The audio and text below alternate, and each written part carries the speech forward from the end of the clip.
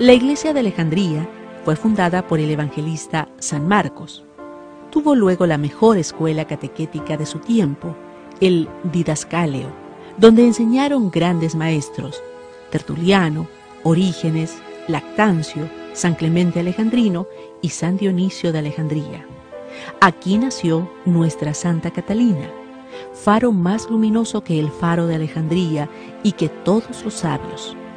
El nombre de Catalina significa la pura, la blanca, y así era ella, una linda princesa, hija del rey siciliano Costo, nacida en Alejandría a fines del siglo III.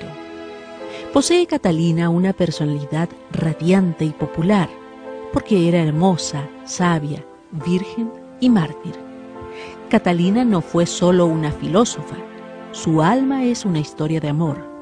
Grandes artistas como Van Dyck, Memling, Leonardo y el Veronés plasmaron en sus lienzos los desposorios de la Virgen Alejandrina con Jesucristo.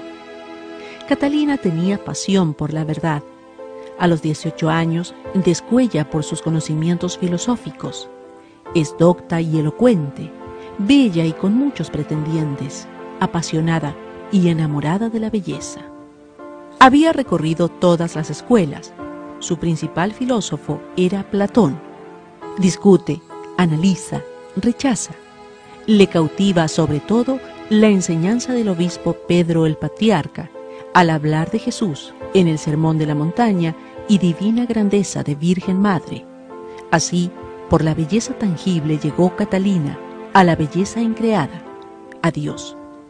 Un providencial encuentro con el ermitaño Trifón allanó las dificultades.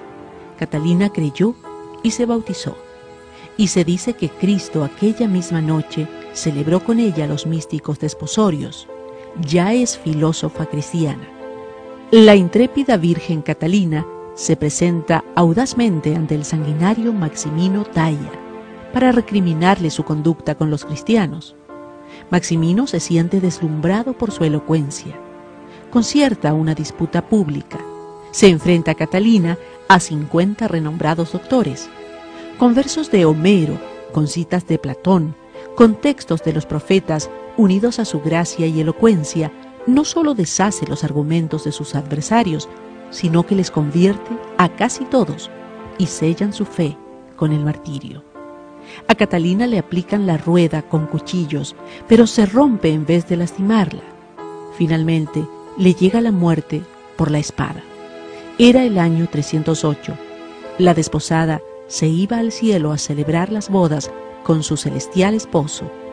El martirologio romano dice que los ángeles trasladaron los virginales restos al Sinaí.